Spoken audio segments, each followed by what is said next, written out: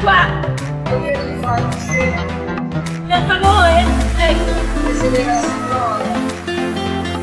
I piedi si estendono a loro, va bene?